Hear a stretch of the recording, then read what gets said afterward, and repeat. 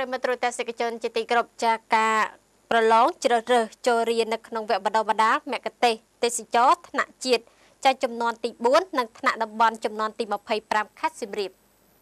ដើម្បីជំរុញនិងលើកកម្ពស់វិស័យទេសចរឲ្យកាន់តែមានគុណភាពសេវាកម្មទេសចរនិងបង្កើនការងារជូនដល់ប្រជាពលរដ្ឋកម្ពុជា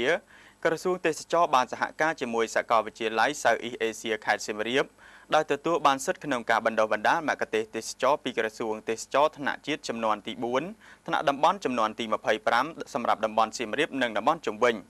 ការប្រឡងជ្រើសរើសចូលរៀនវគ្គបណ្ដុះបណ្ដាលមគ្គុទ្ទេសក៍ទេសចរថ្នាក់ជាតិចំនួនទី4ថ្នាក់ខេត្តសៀមរាបនិងតំបន់ជុំវិញចំនួនទី25នេះ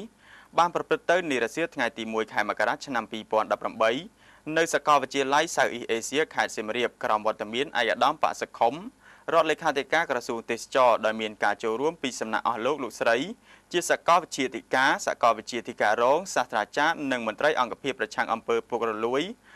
មន្ត្រីអង្គភាពប្រឆាំងអំពើពុករលួយរួមនឹងមន្ត្រីទេសចរខេត្តផងដែរ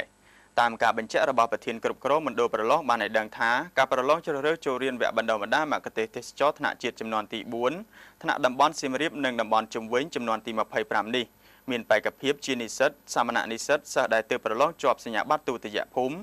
និងមគ្គុទ្ទេសក៍ទេសចរដែលបានដាក់ពាក្យសុំធ្វើការប្រឡងសរុបចំនួន746រូបដែលមានចំនួន11ភាសាវិញ្ញាសាប្រឡងនេះពេលនេះវាវិញ្ញាសាសរសេរវប្បធម៌ទូទៅ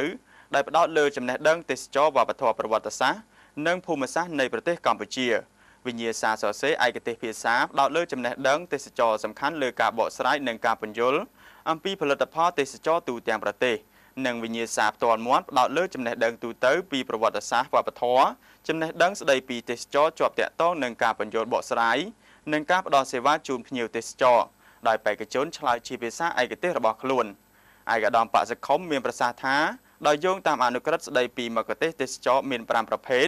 ទី1មគ្គុទ្ទេសក៍ទេសចរថ្នាក់ជាតិទី2មគ្គុទ្ទេសក៍ទេសចរថ្នាក់តំបន់ទី3មគ្គុទ្ទេសក៍ទេសចរថ្នាក់ក្រោមជាតិទី4មគ្គុទ្ទេសក៍ទេសចរថ្នាក់សហគមន៍ ទី5មគ្គុទ្ទេសក៍ទេសចរថ្នាក់ពិសេសដែលត្រូវបានក្រសួងជំរុញវិស័យទេសចរគុណភាពសេវាកម្មទេសចរ